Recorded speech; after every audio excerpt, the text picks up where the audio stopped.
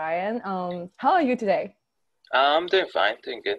Good. Um, so I know you uh, work as a, a Uber Eat driver. So Mhm. can I ask? May I ask you like how long have you been in this job? Um, I've been on and off doing this job for uh, three years. Three years. Wow, that's a long time. Yeah. So so in the, like um, in the short time, do you find another kind of job or you just stick with it? Um, yeah, I also uh, I, I work Uber Eat as a part-time job. Um, I still I do work. Uh, I have another job that I work full-time as well. Oh, nice. Okay. So you have been working before COVID hit to the US. Um, can you tell like like is there any difference before COVID and after COVID? Yeah, uh, yeah, I've been working Uber Eats.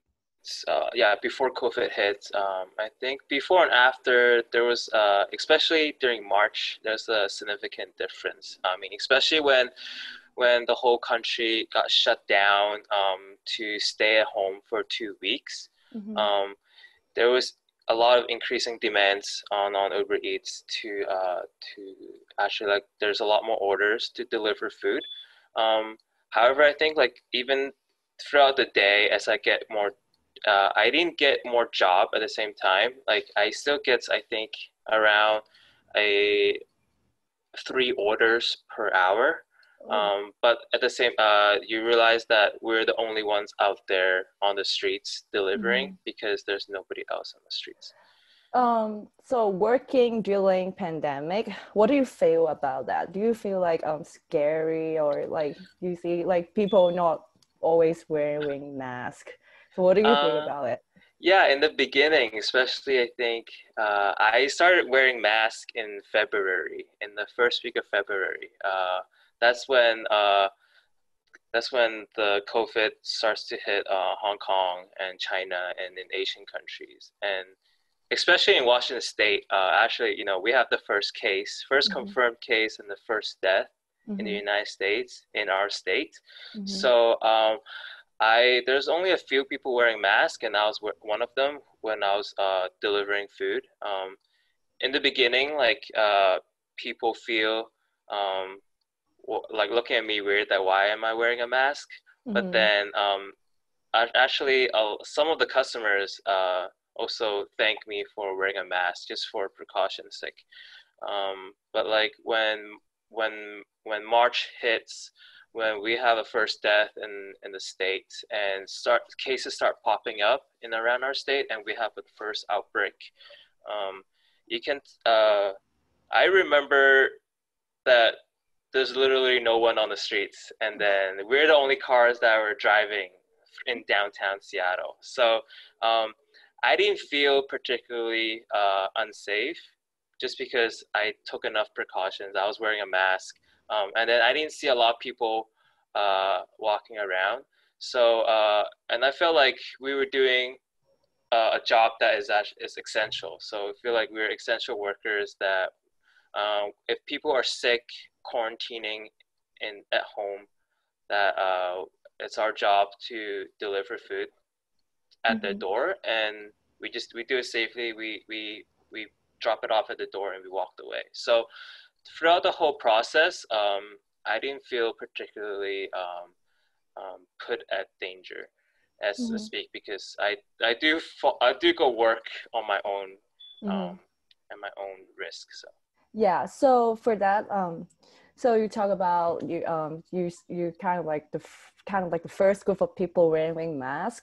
So for that, is there like um the Uber Eat? Do they have any policy like new policy or guidelines for the delivery guy? Like you know, like they have to follow the rule and Uh, like- yes, I uh, well, I, actually, in I think uh, from February to March, uh, I think there there was one like warning notification that was sent out to drivers telling us that hey, uh, just take extra precautions on um, personal hygiene, like wash your hands, uh, like cough into your elbow, since there is a potential of a uh, contagious virus coming to mm-hmm. United States, but there is not any policy change or there's not anything special that was taken by Uber Eats yeah. um, until I think mid March when everything becomes serious,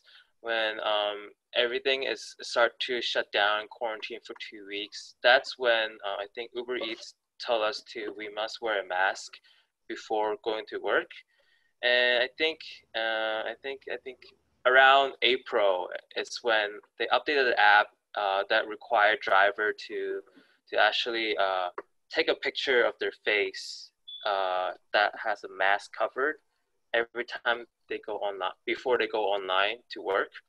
Um, so that's one, I guess, one way that they can enforce people to wear masks before they start to deliver. Yeah. So since everyone have to stay at home, so like a lot of people gonna like order the like food from Uber Eat. Did it like make your income like raise up a lot?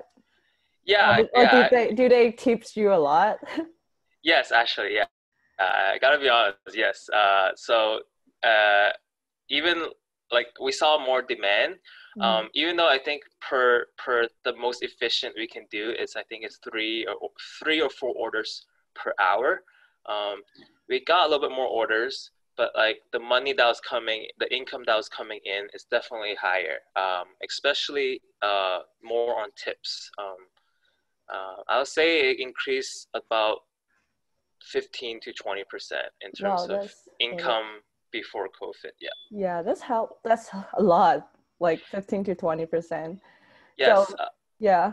Yeah, that's uh, it. It does like uh, it does help us a lot. Like it mm-hmm. serves it. I, I, we appreciate the the tips, especially eh, because when we feel like we were put out to deliver food in a dangerous uh, times, mm-hmm. and sometimes just a little bit increase of the tips, and um, that really at least at least motivate us to like okay like we can do our job safely and also help people so mm. so you do agree that um, uber eat or uh, the other kind of like delivery jobs could, it could help people who are you know lose lose who lost their job during the pandemic right you do agree with that mm, that uber eats help benefited yeah. the people that yeah. lost their job um, kind of not really because i think uh, well the reason that i got to work right away mm-hmm. during the pandemic of uber eats because i was i was already an uber eats driver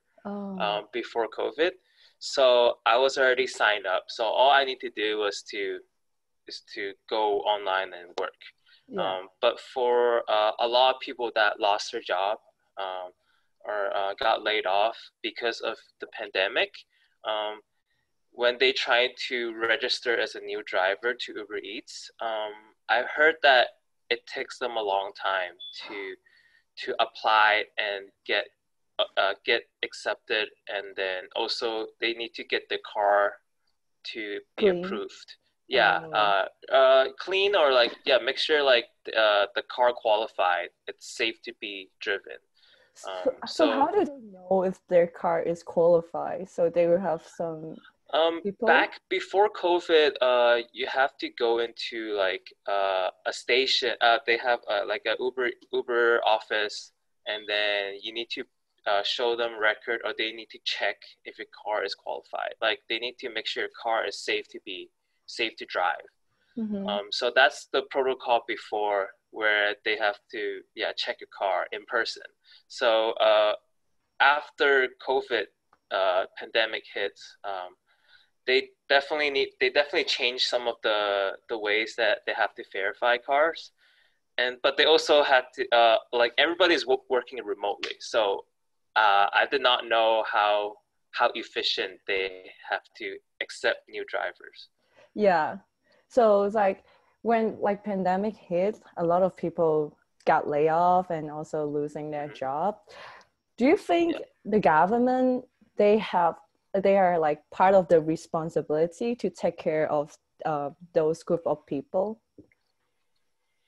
Um, uh, which group of people? The like, people like, that are laid yeah, off in general. Yeah, yeah. Um, yes and yes and no. Sorry, but because uh, it is the uh, well because the uh, the a lot of the workers got furloughed and laid off because of a pandemic. Uh, because the businesses uh like businesses are have to be shut down because because of the pandemic to control the control the virus spread. Mm-hmm. Um, like the government did pass a lot of uh, like U.S. government did pass lots of uh, relief bill, unemployment check, um, things that could help out uh, people that just lost their job to survive mm-hmm. in this time. Um, but I, I don't think it's their responsibility. Uh, I think it's their responsibility to make sure the economy doesn't collapse. That to make sure that um, um, when gov- when companies are bailed out, and then the workers are actually the ones that get the money, so they could so they could survive. Um, so um, for Uber Eats, um, it's different. Like Uber Eats, it's we were considered uh, I forgot what they called. Um, um, they have a sorry, I have a, they have a name for it. Like Uber, because Uber Eats, we're not considered employees of mm-hmm. Uber. Yeah, we're all freelance. We're all um, independent worker. Mm-hmm. So, uh, so they don't have like Uber ben- Eats. Yeah, Uber Eats. Yeah, we don't have any benefits. Yeah, you don't have uh, like we, insurance. We, we weren't. Yeah, we have no insurance. Yeah. Um, we're not include. I mean, we were we were not included in the initial um, relief bill bailout. So um, as as much as it's nice that you know we can still go out and work for Uber Eats, um, at the same time it's it's not it's not a, uh, stable income. Mm-hmm. So it's not something to rely on. Oh yeah. So let's talk about like what do you think? What's the biggest difference between like before and after the COVID? the biggest difference when you work at a Uber driver, like a Uber Eat delivery driver? Um, the biggest difference between before and after. Yeah. Um, I think uh, before COVID, um, working as a food delivery driver, it's um, I think it was uh, working. Yeah, working as a food delivery driver, it's viewed as um, that uh, a side job and a job that is uh, only in demand when people feel convenient that oh they don't want to leave home they don't want to leave their office and they still want to get food that usually doesn't do delivery um, but i think after covid um, yeah i never thought that food delivery service turns out to be that important and it becomes more mainstream. And um, and also uh, people are willing to pay the extra delivery fee um, to get their food, um, and then, and I think working working working afterwards, um, uh, working after COVID, being a delivery driver, uh, it's uh, it doesn't seem um, it doesn't seem that much of a. Uh, it seems sorry, I don't, I don't, know how to say. Like it's it's more like a job. Uh, it's a job that uh, it's also is important to how how people get um, get the service. also, um, I also interest about interesting about like, um, is it like more complicated to work during the COVID or like is that so you tell you tell me that um Uber uh, being a, a food delivery is just a side job of you. So how about your um your main job? What was was you working on? Um, right now, like my main job is I also got laid off in my main job. oh, so okay. So my side job become my main job during the pandemic. Oh, yeah. What do you but, feel about it? Um, yeah. So I felt at least there is uh there is some work that I can do um mm. during the times.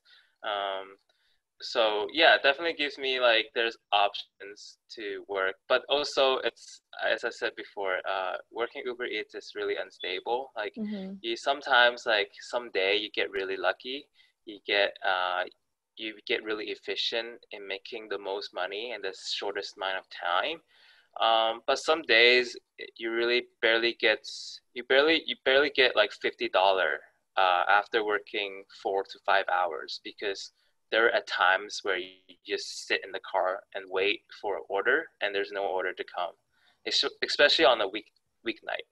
So mm. um, it it is definitely not uh, a job that, and then the rate also goes also fluctuate. So oh. sometimes Uber Eats give you a really good rate, oh. where um, in that region you can mm-hmm. work in that region and get really good rates. But mm-hmm. sometimes mm-hmm. the rate is gone. So um, so so once that rate is gone, you make like less than you, you make twenty percent less than the previous day. Wow, that's a lot. For doing for doing the same for doing the same job, yeah, for wow. doing the same amount of work.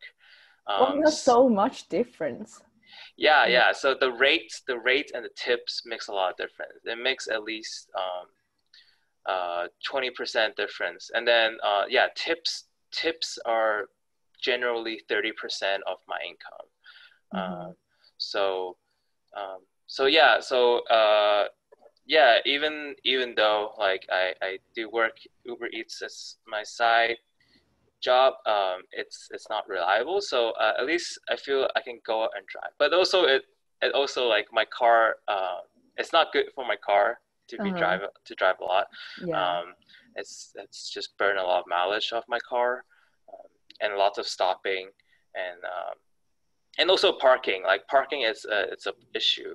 Like mm-hmm. um, you have to find parking, especially free parking around the city, around the restaurant. It's mm-hmm. uh, it's difficult. It's it's easier during pandemic because a lot less cars are on the roads.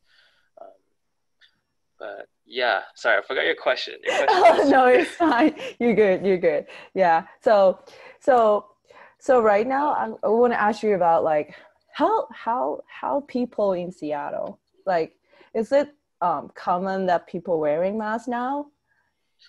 Um, yes. Uh, now, as of like October, I think around with my own eyes, I mm-hmm. see seventy five percent people are wearing masks. Um, compared to, I think a- April or May, April mm-hmm. and May when when uh, when I think most of the most of the states start to open up in May and mm-hmm. people start coming out um, after April.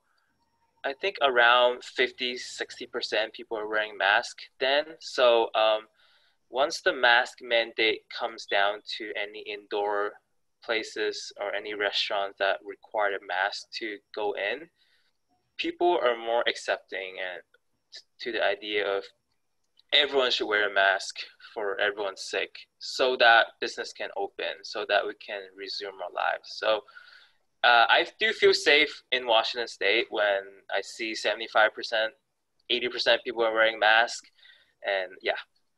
Yeah so i have a last question for you.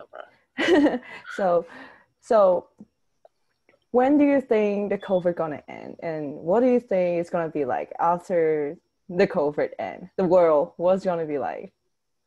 Are you asking like to the Uber driver or to yeah, personal? To you in personal or Uber driver. As an Uber driver, what do you think? Do you think um, the tip's gonna be like you know drop off a lot, and then not many people are gonna order Uber? Eat? Oh, uh, the tips have been dropping off already. really? yeah, okay. yeah. Uh, it's a lot. Uh, yeah, I think since uh, I think after May, June, um, when people feel more safe and better to go out and get food, um, um, obviously tip hasn't been as high as back in March and April. Mm. but for the question of like when you think COVID ends, um, it's that's a tough question. It's I, it's oh it's it's gonna be a long time because it's uh it's not a virus that will go away. Mm-hmm. and it's not a virus that will just magically go away even with vaccine. Um, and you know in the united states like um, we never got the virus under control like other countries have.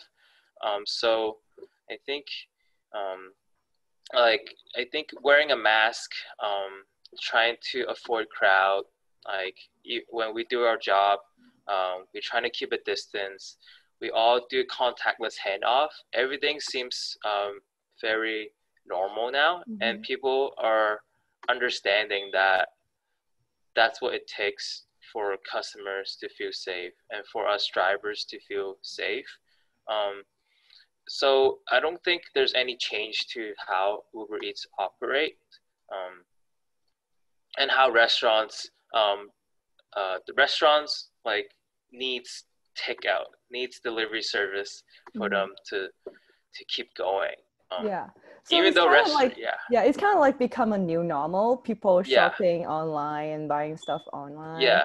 And you do believe you do believe that uh, it's going to be continuous after this? Yes, it's going to continue until um, I think when we stop hearing um, people hospitalizing and people are dying.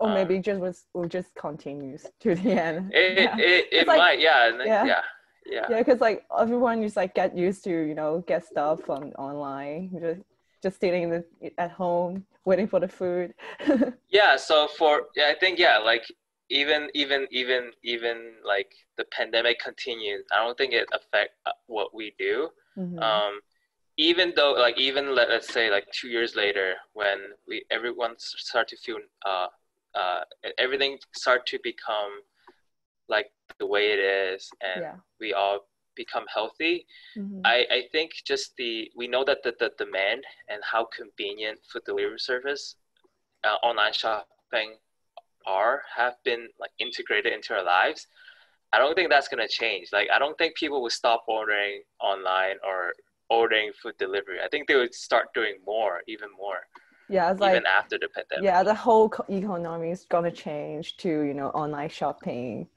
you do yes. like you do agree with that, right? yes, I do. I do. But uh, but I'll add one thing. There's also mm-hmm. like one dilemma or um, mm-hmm.